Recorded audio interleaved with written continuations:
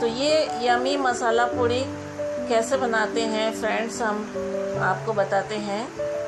देखिए, हम फ्राई कर रहे हैं मसाला पूड़ी।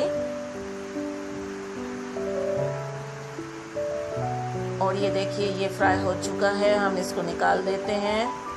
हमने ये आटा लगाया फ्रेंड्स इस आटे को लगाने के लिए हमने दो बाउल आटा लिया है और उसमें डाला है अजवाइन। लाल मिर्च पाउडर, चाट मसाला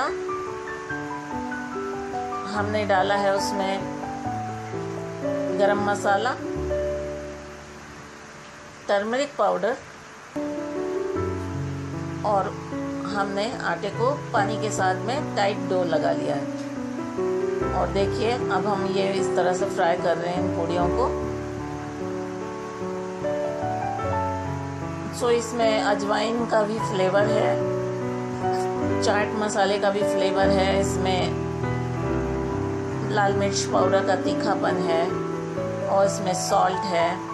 सो ये सारी चीज़ें मिला के हमने ये डो लगाया है, और ये पूड़ियाँ रेडी है। ये देखिए, मसाला पूड़ी यमी मसाला पूड़ी, जो सूखा अरबी मसाला के साथ बहुत यमी लगता है। सो so फ्रेंड्स जल्दी से बना डालिए ये सूखा अरबी मसाला और मसाला पूड़ी। और सर्व कीजिए अपने फैमिली को और फ्रेंड्स को। बहुत सारी तारीफ़ें मिलने वाली है आपको।